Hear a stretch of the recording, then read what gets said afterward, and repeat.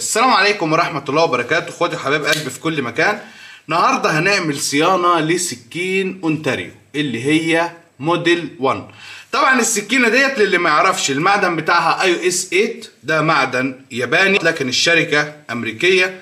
النصل بتاعها في jimping من ورا بتفتح وتقفل بنظام ال liner lock تفتح عن طريق ال thumb stud أو المسمار اللي موجود في الجانبين دول بمجرد ضربة بسيطة تفتح معاك معاها الكليب المميز ده اللي تقدر تنقله في الأربع اتجاهات.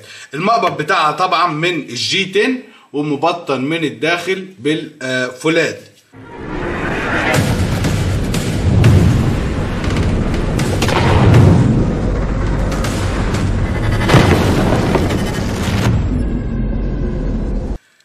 خلينا دلوقتي طبعا نبدأ سريعا كده نطلع المسمار اللي يتناسب معاه أو المفك اللي يتناسب معاه.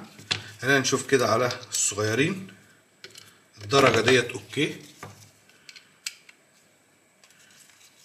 الدرجة ديت okay. هنشوف للمسمار الماستر. الدرجة بتاعته طبعا بتكون أكبر شوية أعتقد أعتقد ما خاب ظني شوف كده من اللي عندي المجموعة دي. خلينا نشوف ده كده. قول بسم الله. ده تمام. آه نبدأ نفك الأول الماستر بتاع السلاح. فكناه بكل سهولة. نبدأ بعدين نفك الأربع مسامير. وخلينا دايما نكون حافظين قاعدة يا جماعة في الفك والتركيب. أول مسمار بنفكه هو آخر مسمار بنركبه. دايما نعرف الحاجة اللي إحنا بنفكها هنحطها فين. فنبدأ كده زي ما أنتم شايفين. توكل على الله.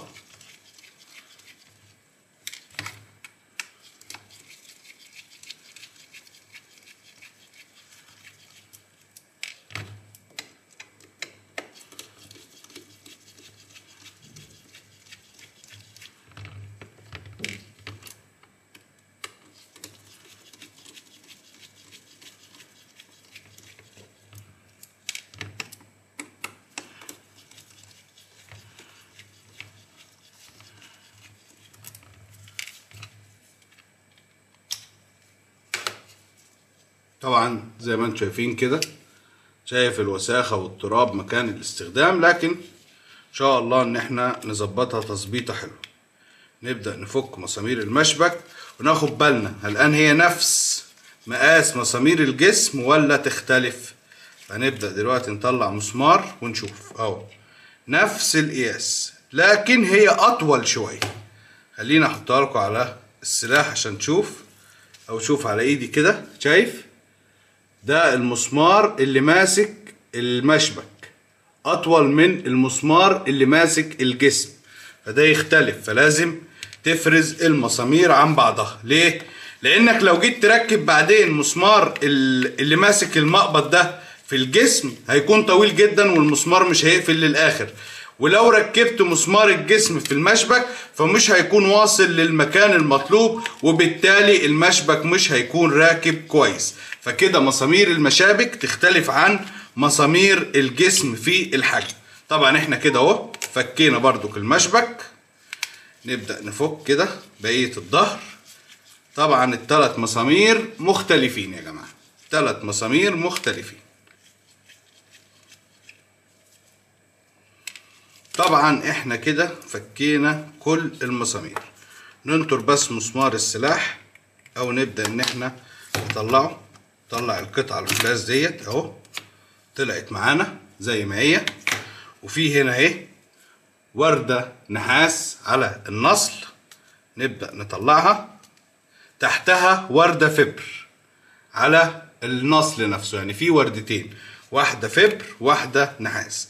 نطلع السلاح هتلاقي برضك نفس الوردتين من الناحية التانية واحدة فبر واحدة نحاس. طبعا في اللي هي القطع الزوايا ديت اللي بيتثبت عليهم المسامير. أهو. دول طبعا يتفكوا كده. أهو. مع بعض. تبدأ تنطر المسمار ده. عايزين شاكوش خفيف. حاجة خشب كده. طلع ده. ابدأ. فك. آه ده شكله بيتفك ده كمان. شكله بيتفك من الناحيتين يا جماعة. وركزوا معايا بقى في طريقة التقفيل لأن هقفله لكم بطريقة إن شاء الله تعجبكم. تمام؟ أهو. يبقى إحنا كده زي ما أنتم شايفين. معانا البطانة الفولاذ قطعتين معانا قطعتين بلاستيك معانا المشبك معانا النصل ومعانا دول الوردتين اللي كانوا ماسكين الجسم ودول المسامير. طبعا أنا أقدر أقلبهم في بعض لأن دول المسمارين اللي ماسكين السلاح اهم بالصاموله بتاعتهم والثلاث مسامير الطوال أقدر أطلعهم في لحظة اللي هم ماسكين النصل خلونا أقول لكم هنعمل إيه دلوقتي. طبعا زي ما أنتم شايفين أنا جبت علبة صغيرة أهو. هحط فيها كل القطع المعدنية الصغيرة. مش هنطولها على حضراتكم. كل القطع المعدنية الصغيرة أهو. حتى الورد هنبدأ إن إحنا نحطها كله داخل. هنجيب دبليو دي 40 الدبليو 40 اللي هو مزيل للصدأ وفي نفس الوقت بيزيت أو بيشحم. أهو. أدي مجموعة المسامير كلها في الداخل ومعاها الورد. خليهم زي ما هم. لغاية ما نبدأ إحنا شغل في الجسم اللي قدامنا.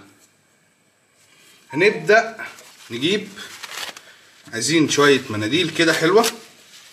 ونبدأ ننظف كل الكلام ده زي ما أنتم شايفين كده. ده سبيرتو أو مطهر.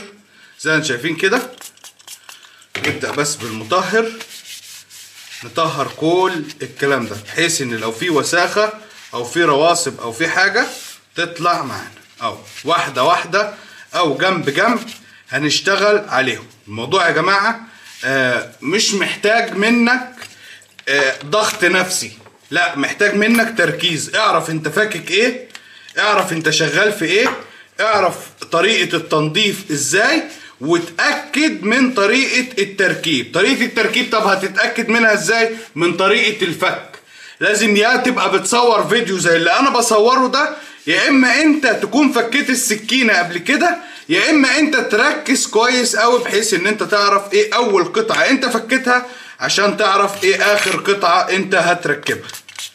طبعا ده زي ما شايفين كده كله فيه وسخ من جوه وتراب حاجات زي كده. اديله بردك بالكحول كده شوية عشان تبدأ تنظف كل الوسخ اللي عليه ده زي ما انت شايف. ممكن بقى نجيب فوطة خاصة كده تبقى مشحمة شوية عشان تبدأ إن هي تشيل معانا تفرك معانا كل الأوساخ وكل الجلخ اللي موجود على السكينة. ان شاء الله. آه نرجع نواظب على فيديوهات الصيانة الفورية اللي بتفيد كل إخواتي وحبايب قلبي. تمام؟ نبدأ ننظف كده. نيجي بردك هنا حتة زي كده. دي كام رشة كحول حلوين كده. ابدأ نظف شيل كل الوسخ اللي عليها. زي ما انت شايف كده بالظبط. تبدأ تدعك بالفوطة لغاية ما تطلع كل الأوساخ اللي على المعدن. بردك تروح جايب النصل هنا مكان بواقي الزيت والحاجات دي. ادي كحول عشان تبوش كل الزيت القديم أو إذا كان فيه جلخ أو وسخ أو الكلام ده كله. كل حاجة تطلع معاك والسكينة ترجع على طبيعتها. أهو زي ما أنت شايف. ممكن بقى السلاح عشان إحنا بنحتك بيه كتير أو بنستخدمه كتير. بعد ما ندي كده ندي برضك إيه حتة كده رشتين دبليو 40 دول من عندي كده جدعنة جدعنة للسكينة. تبدأ إن أنت تنظف بيها السلاح. زي ما أنت شايف كده.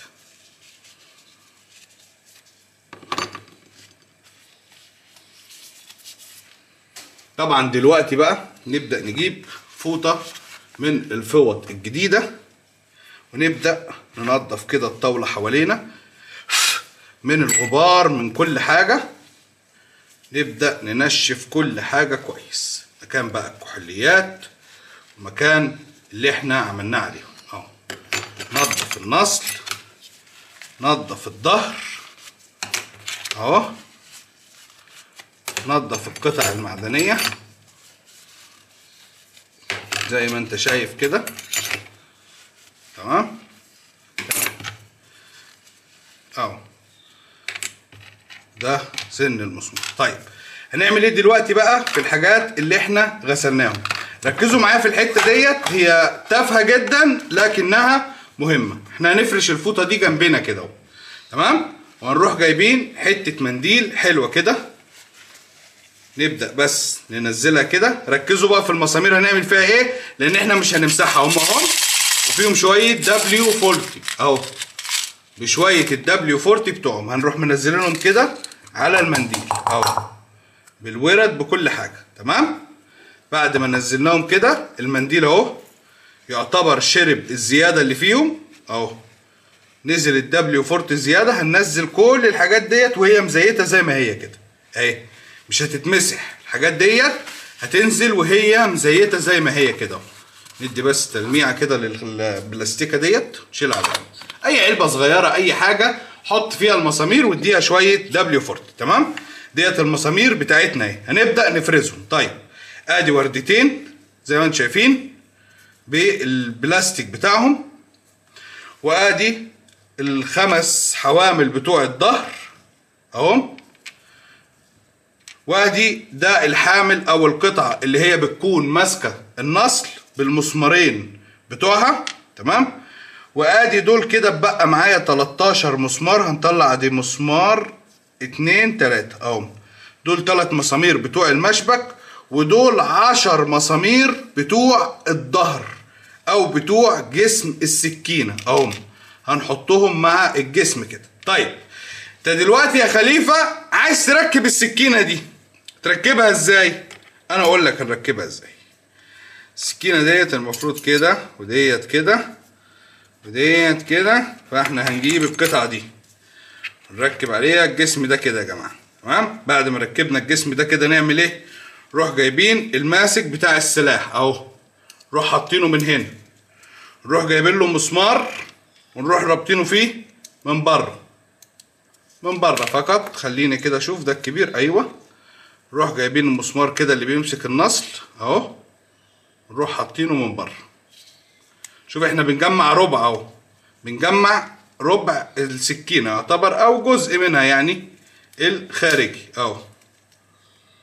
بس نقفش المسمار عدل.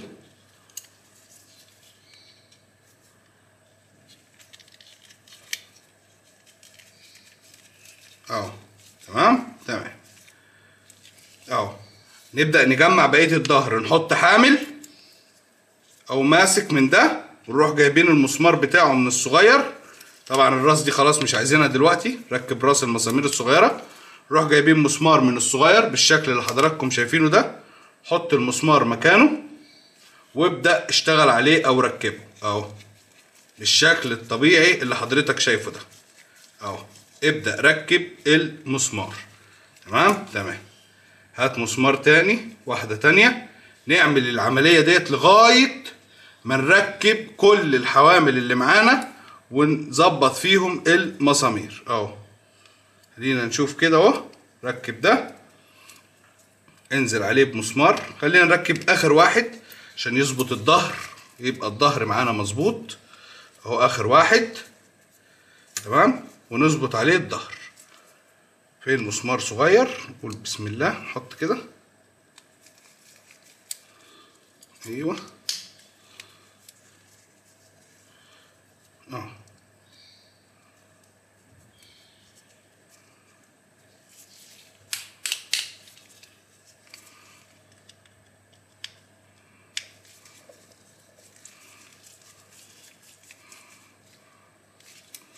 كده شايف الظهر ظبط. لما ركبنا أول واحد وآخر واحد عشان الظهر ما إيه ما يضيعش منك. تبدأ تركب كده. التاني أهو. تمام؟ أهو.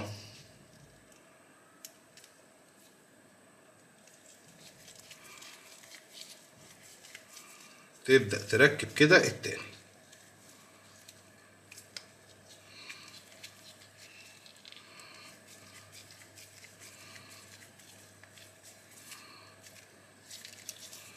خش على التالت.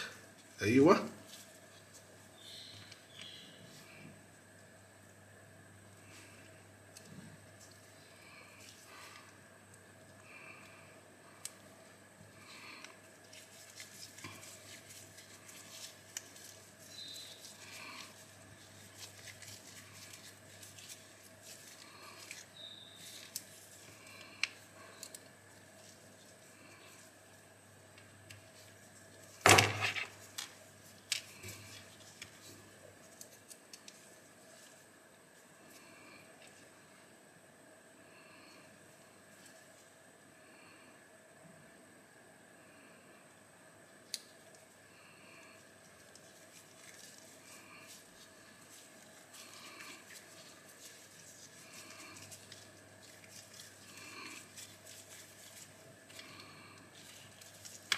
طيب إحنا دلوقتي أهو ركبنا الجزء ده كامل أهو بقى جاهز معانا. باقي إيه؟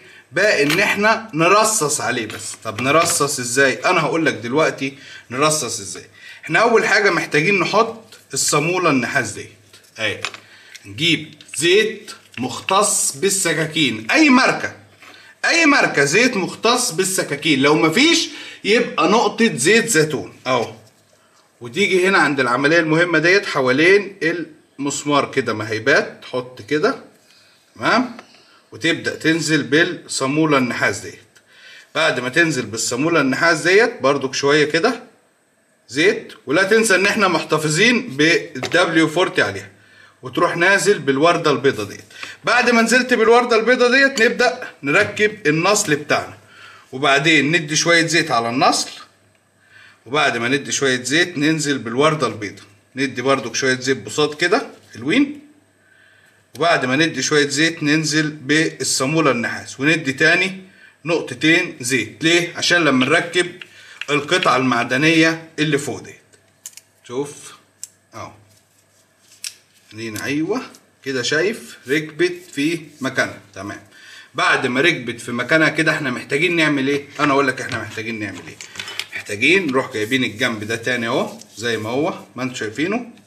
طبعا أنا كل اللي في إيدي ديت يا زيوت خاصة بالسكاكين فمش هتأثر عليها يا إما زيوت آه اللي هو الدبليو 40 فبرضك مش هيأثر. خلينا بقى نركب مسمار النصل من الناحية التانية عشان نبقى شبكنا النصل والوقت هقول لكم إزاي نوسطن النصر أو نتأكد إن النصل بعد ما إحنا مقفلنا مظبوط. أو لو مش مظبوط إزاي إن إحنا نقدر نظبطه بكل سهولة؟ خلينا نرجع تاني. أيوه دول الثلاث مسامير الكبار. خليهم على جنب اللي هم بتوع المشبك. ولازم نتأكد من الموضوع ده يا جماعة. نبدأ نركب بقى إيه؟ في المسامير القصيرة. تمام؟ تمام. خلينا نركب كده. نقول بسم الله. وآدي أول مسمار.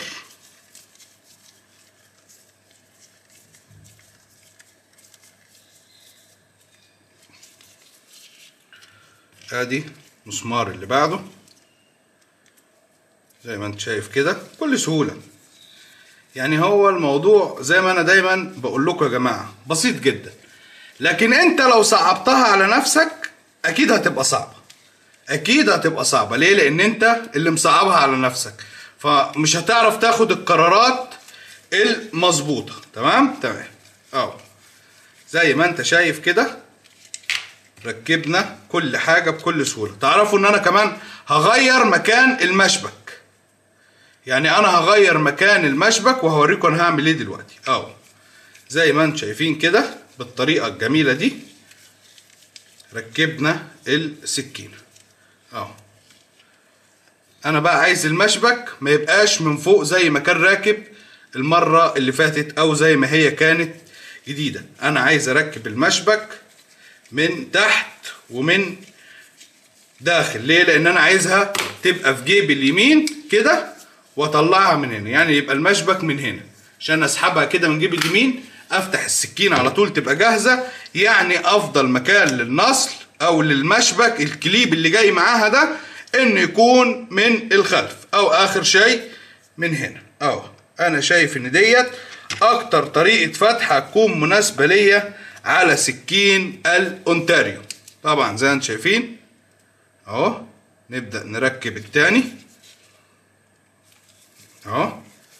طبعا دلوقتي هنوزن النصل ونجرب النصل.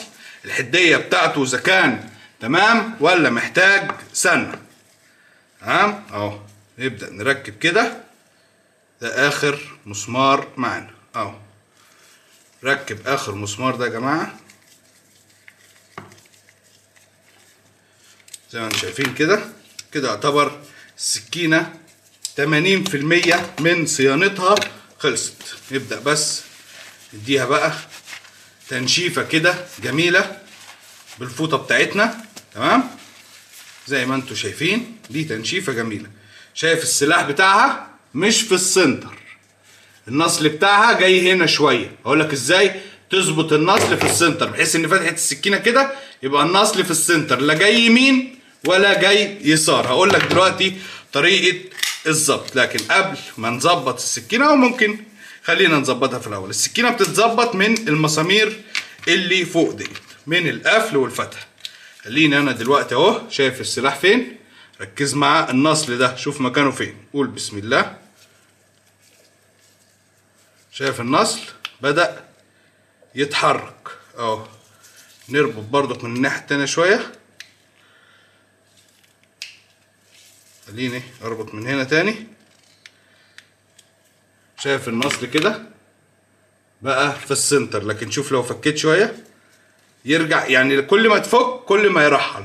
تربط كويس يبدأ إن هو يقفل معاك. خليني أحاول أطلع درجة مظبوطة جدا لمسامير النصل. أهو وفقنا لها مسمار. طبعا بس نديها إيه؟ سنة من هنا.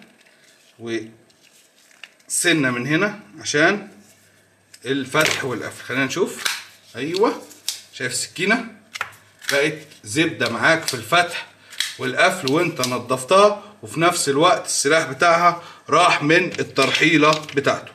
خلينا بقى نديها دلوقتي. بس تلميعة بسيطة. ندي بس كومباوند كده جميل. ندي تلميعة بسيطة للحد بتاعها.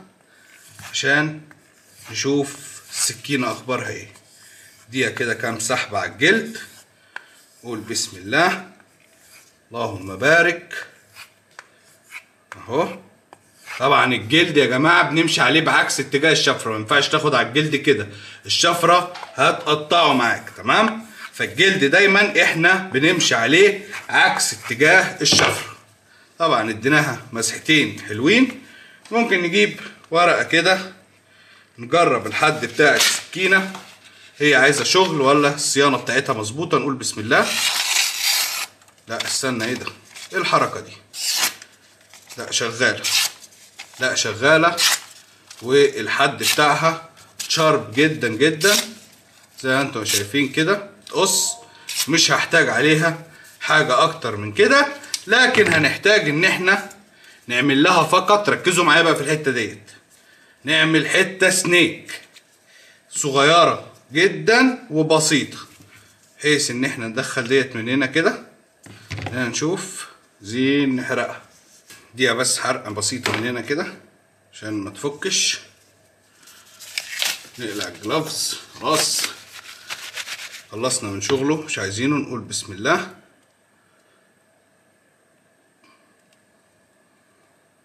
أيوه. بس نطلع الميدالية كده. وزي ما هي كده أنا هبدأ أديها رابطة سنيك ناخد لفة كده ونحط ديت من الداخل ونلفها حوالين الميدالية. نبدأ إن إحنا ندخلها كده. أهو الشكل ده. يا بنت الناس. أيوه أيوه أيوه. قفشناها. طبعا إن شاء الله هرجع اعمل لكم سلسلة لطريقة عمل الباراكورد. هي ديت المفروض ان انت بتاخد لفة كده. الخيط بيكون ملفوف كده بالشكل ده. وديت تجيبها من الداخل. وبعد ما تجيبها من الداخل بتروح لففها من ورا الميدالية كامل وتروح مرجعها من الداخل الدايرة تاني. اهو. وتبدأ تسحب من الناحيتين. وتقرب الربطه على بعضها كده وتبدأ ان انت تشد. اديها واحدة تانية اهو اللي هم عشان يبقوا ثلاثة وتدخل كده اهو وتلف من ورا السكينة وتيجي تدخلها من داخل بالشكل اللي انت شايفه ده وتبدأ ان انت تشد وتضيق عليها اهو بالشكل ده. تبدأ تضيق كده تيجي من هنا تبدأ ان انت تقص الزيادات دي وتيجي من الناحية التانية تقص بنفس المقاس وتبدأ إن أنت تحرق عليهم. أهو. تبدأ إن أنت تحرق دي كده تبدأ إن أنت تحرق دي كده. ليه؟ عشان ما يكرش الخيط من بعضه. بقت ليها ميدالية سحابة صغيرة أهي بحيث إن هي محطوطة في جيبك اليمين نازلة كده تبدأ هي طبعا شابكة بالكليب ده في الجيب. عايز تطلعها. امسك بس من خيطة ال paracord ديت. طلعت معاك سكينة جميلة السكينة متصينة النصل بتاعها والحد. زي ما أنتم شايفين sharp جدا جاهزة لطلعة الصيد بتاعتك أو جاهزة لرحلتك. دي السكينة اللي كانت معانا النهاردة يا جماعة اللي إحنا عملنا لها الصيانة. دي سكين أونتاريو بمعدن AUS 8 معدن ياباني. المقبض بتاعها من ال G 10 بنظام ال liner lock.